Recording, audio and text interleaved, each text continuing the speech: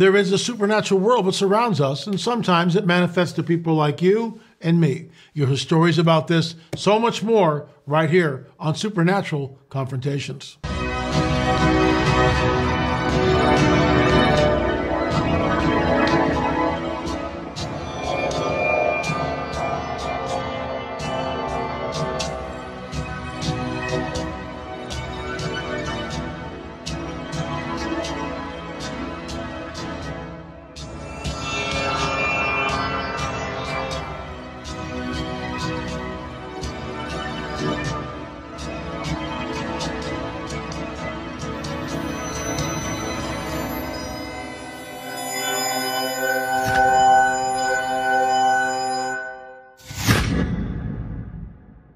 I'm going to go backwards a little bit with our um, UFO film series. This is number four uh, in our series. Since then, we've got done on crop circles and, of course, the um, the cattle mutilation film, and now we're working on the Roswell Part One and Part Two film, as we showed you on Monday, a clip from that. This goes back to number four, which is on abductions. In this, you'll meet Karen Wilkinson, Al Matthews, and Emil Jurek. All of these people have been abducted since they were kids. So very intense. Um, buckle up. We'll get into that and so much more. But first, a word from our trusted sponsor. Folks, are you feeling unsure about your finances these days? Well, you're not alone. That's why Noble Gold Investments is here to help. Just hear it straight from the folks that they've helped. The Noble crew will walk me through everything, no stress. With Noble Gold's help, I can finally sleep easy at night. And now this month, Noble Gold Investments is handing out a free 5 ounce silver American the Beautiful coin if you qualify for an IRA. Invest in gold and silver with Noble Gold Investments. Go to noblegoldinvestments.com now. That's noblegoldinvestments.com, folks. Remember, we've invested with them, and I am really glad we did. But number to call 877 646 5347. Once again, that's 877 646 5347. Um, We invested with them, and I'm glad we did, especially when we look at the trillions of dollars that the United States is in debt. If it collapses, you and I both will be glad we put some of our money into gold or silver. So, what we're looking at here is the abduction phenomenon. It is a very closely guarded secret. Um, people who are taken are ashamed. Uh, they're oftentimes they hold it in. They don't say anything. They don't communicate with people. Uh, Al Matthews talks about this. Karen Wilkinson talks about it. Emil uh, uh, talks about it. And, and, and I'm going to roll the clip. And I think you'll find this incredibly interesting. It's riveting because these are people that have lived through it. And this is what makes number four in our series, our documentary series on UFOs, so poignant and telling because this is where the rubber meets the road. The phenomenon is real, it's burgeoning and not going away. We can tap dance around it, we can pretend it doesn't exist. But let me say something to you. See this book here? If you were to take all the supernatural um, stories that are in this book and remove them, you wouldn't have anything. There'd be nothing left. Some genealogies, maybe some battle reports. That's about it. That's all you'd have. Do we really believe in a supernatural world? Do we really understand that the, that what we are looking at is a ongoing battle between the Most High God, El Shaddai, El Elyon, and the fallen angel, the dragon, and it's spilling out onto our planet. The late Chuck Missler stated on the record when I posed the question to him, Chuck, what about the hybrids? What about the abductions? What's going on? Chuck said without hesitation, LA, Satan's out number two to one. He's building an army. He's building an army. Remember this in the book of Daniel, chapter 2, verse 43, it states very clearly their seed will mingle with the seed of men, but they shall not cleave to them. Jim Williamson's work, the word cleave, is the same word that we get in a marriage contract way back in Genesis. For a man will, will leave his father and mother and cleave to his wife. It's a marriage contract. There's no marriage contract here. You are taken against your will and you are violated. I'll just leave it at that. Anyway, here's the clip. I'll weigh in on it on the other side. You've had experiences. Yes. You've had experiences. yes. Tell us about the experiences.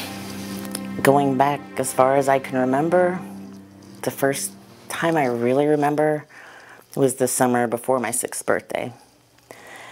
And um, it happened usually always at the same place at my grandparents' farmhouse. Um, it wasn't just me, but I won't mention the other people. Um, and it was scary. I was just a scared little kid, you know. I used to think if I could um, find a suitcase and put it under the bed and get inside it and zip it up, they wouldn't be able to find me. And how old were you? I don't know. The first I remember, I was it was I was five years old. And what happened when you were five? What tell us? Um, I was taken from my grandparents' farmhouse, and they knew who I was, and they took my sister too, but she was not having it. um, I was very compliant. I was a scared little kid. I did whatever anyone told me to do. Um, How old was your sister? my sister was eight years old at the time. They would come at night when I was there, and um, I would be in a place that was underground most of the time. It wasn't, I don't remember ever being up in the air. I remember being in the air traveling, but I don't have any ship type memories. I don't. But we, they would take me um, to a place, a facility. Um, the walls were smooth and white and curved. It's funny the things you remember when you're little. And um, there were other children. There were lots of other children there. Well, I think I've been abducted since childhood. I mean, I can remember uh, these beings, if you want to call them that, when I was five, six, seven years old, um, entering my bedroom one way or another. And it continued up till about I was 15. The first time I remember being taken was in 1992. I do believe when I was a child and I was having these ongoing things out at the hockey rink. But back then, I did not have a clue what was going on with me. I was having nosebleeds, paranoia, scared to go in the basement. All of a sudden, after seeing these UFOs, these things were happening to me. But as a child, I didn't know what it was. I'd, I'd ask my mom, I go, why am I having these nosebleeds? What are these weird marks on me? Oh, that's a weird spider bite. My mom didn't know either. When when you were taken from the bed, do you remember how you left the room? Sometimes, yes, I do. Sometimes it was up through the ceiling. There was this um, Lone Ranger square lamp on the ceiling, and sometimes I would go right up so close to that lamp. It was, I was like, how am I not, you know, how is this not hurting me? And be so close to it. I could see every detail in that lamp. And sometimes it was through the window, which was there beside the bed. Also, always closed. So they didn't open the window, you went through the window. through the window or through the ceiling. But at times I can, it's weird, I can sense something in the room uh, and it makes you really frightened inside, like an animal that's about to get captured or something. And um, that's it in a short. I mean, I've been just in torment. I always told as a child that I was um, having nightmares and walking in my sleep. So they put locks on the doors and windows so I can't get out because they're afraid I'm going to drown in the pool. And they find me outside with everything still locked up. So you explain that to me. I was in my room and woke up at 2.22 in the morning. How do I know that? I catapulted upright out of bed. I was sleeping on my back. I turned and looked at my alarm clock. It was 2.22. Then I heard a voice in my head. This stuff I remember as clear as day. And something was telling me to open the curtain in the bedroom. And this sounds, obviously this is all strange. I'm looking at the curtains going, no, I'm not looking out. I'm not looking out. I'm not opening the curtain. The next thing you know, what am I doing? I'm opening the curtain and I see light eman- emanating outside by an oak tree right outside the window, maybe four or five feet away from the window, with these two beings. I thought they were walking up around the tree. I looked down at their feet and they were floating. They were humanoid, square jaws, ghost white, and once again, totally black eyes. And every time they went around the tree, their head would turn and look at me looking out the window. I just think of me now looking out that window with these things staring at me with my jaw dropped, going, What the heck? Here we go again. Then missing time. Five hours later, don't remember what happened after they shut me off, after seeing these beings outside. Five hours later, dropped onto my couch from four or five feet. Did I go through the ceiling? I don't know. Shaking again, wet my pants, violated. That's all I know. Karen, I want you to know something. Maybe this will make you feel better. Every person I've ever talked to that's been taken, that's been abducted, they go through the window and the window never opens. You're not alone. You're not alone. It's just, you, and you're like, am I crazy? Did I dream this? But it happens again and again. And you feel it and you're there and you remember it. When the memories are there, it's just, I say, well, does the window in some way open by itself?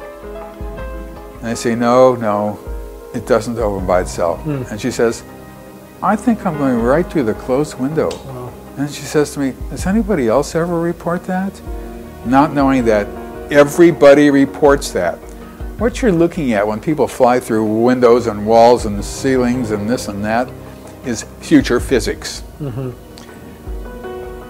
Mathematically it can be done if you do it mathematically because you know if, if the earth can be squashed into the size of a grape or a softball or whatever it is um, everything is made up of molecules and there's space and right so so mathematically it's possible but in our universe and in our level of technology which is brand new uh, it can't be done What did the entities look like?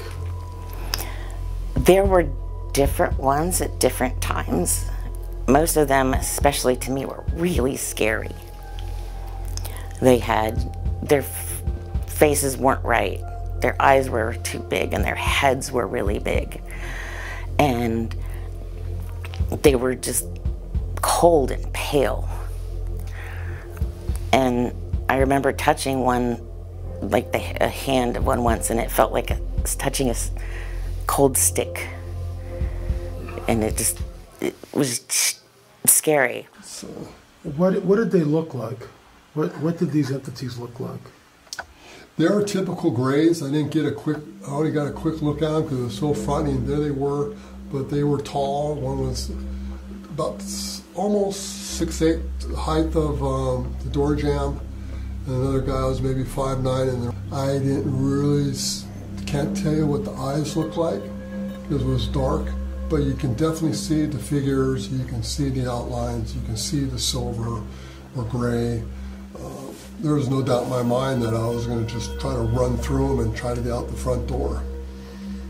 That was, uh, you know, three or four in the morning, whatever it was. I was out in my front yard, standing by myself, afraid to go back in the house for a while. Folks, the abduction phenomena is real. It's burgeoning and not going away. In our film, we have four people, that, four abductees that come on camera and tell their story. It's riveting. It's visceral. Karen uh, Wilkinson's new book, Stolen Seed, Evil Harvest. We are so happy and so honored to be publishing that. And uh, it's, we've been selling a lot of them, flying out of here. So you want to go to the store and order that. Stolen Seed, Evil Harvest, because that's exactly what's going on. And in that, it's very poignant, it's very intense. But Karen was a lifelong abductee, and then she got free through Jesus. Same thing with Al Matthews, same thing with Emil Jurek, same thing with Angela. All these, all these people are born again, spirit filled Christians. They are free from the abduction phenomena. Why? Because there's a name that's greater than all of their names. It's not Sunday school stuff, and I get that. But it's it's it's where the rubber meets the road. It's in your face. It's exposing the works of darkness. Our mission statement is to expose the deception of the prince of the power of the air and to herald the return of the King, Jesus. Anyway, folks, check it out, lamarzulli.net, lamarzulli.net. If you want to stream these, streaming.lamarzulli.net, number four, on abductions in the ongoing UFO film series. Uh, my business partner, Gil Zimmerman, flies down. We're working on the film. And um, by the time you're watching this, we'll probably have it handed off to the duplicator. So if you order and do the pre sale, you can get it before Christmas, God willing depending on postage. Thanks so much for watching, folks. Remember, there is a supernatural world that surrounds us, and sometimes it manifests to people like you and me.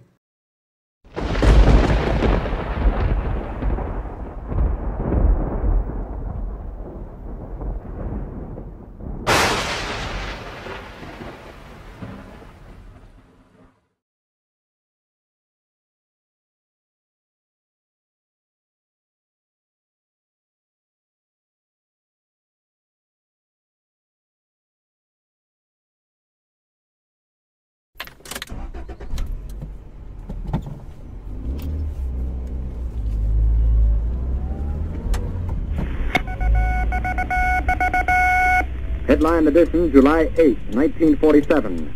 The Army Air Forces has announced that a flying disc has been found and is now in the possession of the Army. Army officers say the missile, found sometime last week, has been inspected at Roswell, New Mexico, and sent to Wright Field, Ohio, for further inspection. Late this afternoon, a bulletin from New Mexico suggested that the widely publicized mystery of the flying saucers may soon be solved. Army Air Force officers reported that one of the strange discs had been found and inspected sometime last week. Our correspondents in Los Angeles and Chicago have been in contact with Army officials endeavoring to obtain all possible late information. Joe Wilson reports to us now from Chicago. The Army may be getting to the bottom of all this talk about the so-called flying saucer. As a matter of fact, the 509th Atomic Bomb Group headquarters at Roswell, New Mexico, reports that it has received one of the discs which landed on a ranch outside Roswell. The disc landed at a ranch at Corona, New Mexico, and the rancher turned it over to the Air Force. Rancher W. W. Brazel was the man who discovered the saucer. Colonel William Blanchard of the Roswell Air Base refuses to give details of what the flying disc looks like.